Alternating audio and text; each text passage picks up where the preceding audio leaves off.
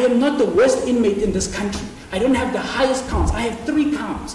But I am the most popular inmate in this country for no reason, because of the political carnage and because of the political issues that I have in my personal capacity that have nothing to do with this legal proceedings. And I feel that I am to address that. And Your Honor, with my last point, that I feel it's unfair for these people that are sitting here as my so-called accused to be in court when I know very well they have nothing to do with this.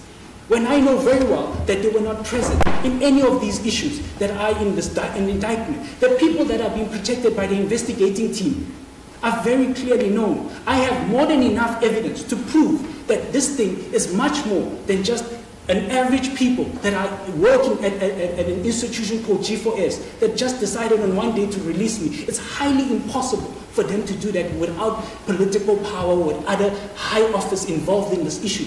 I have been out in South Africa living my life for a year. I have not violated any human, but I am treated with the utmost, even in the legal fraternity, Your Honor. It's very difficult for me to appoint an attorney. Attorney would cancel brief on the base that say, I don't want to be associated with Thabo Bester because the media will attack me. I've had five counsels who told me that, that I would love to be in your case, but I'll be in the background because I cannot be seen in front because you're Thabo Bester. The media will destroy me and the, the state will never give me any work. Is that anyhow how I should be treated when I am standing in trial, Your Honor? Is that equal to any other person that is standing in trial?